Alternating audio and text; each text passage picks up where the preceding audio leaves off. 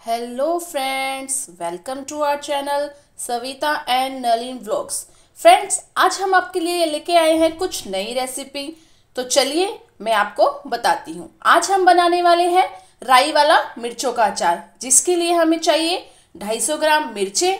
हम इन्हें धो के सुखा के साफ़ करके रख लेंगे। और उसके लिए चाहिए हमें मस्टर्ड ऑयल पिसी हुई राई गरम मसाला और स्वाद अनुसार नमक।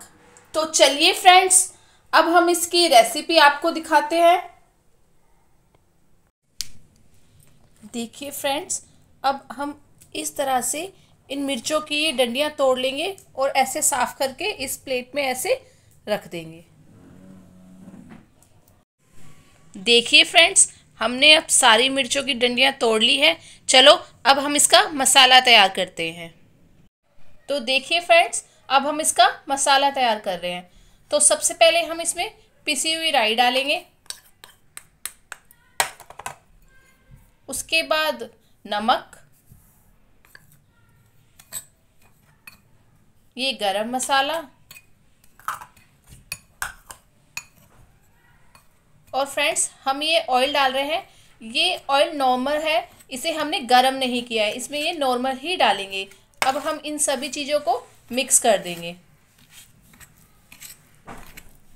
जब ये अच्छी तरह से मिक्स हो जाएगा, उसके बाद हम बताएँगे कि हम क्या करेंगे। देखिए फ्रेंड्स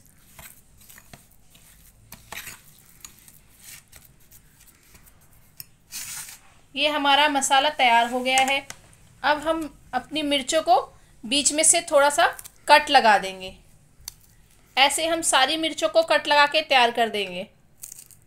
देखिए, हमने ऐसे मिर्चों में से, मिर्चों के बीच में ऐसे कट लगा दिया है। हमने ये सारी मिर्चें ऐसे तैयार कर ली है। अब हम इसमें मसाला भरेंगे।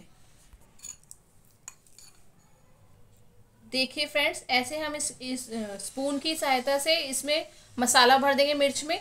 और ऐसे सीधा जार में डाल देंगे। इस तरह से हम सारी मिर्चें में मसाला डाल के इस जार में डाल देंगे।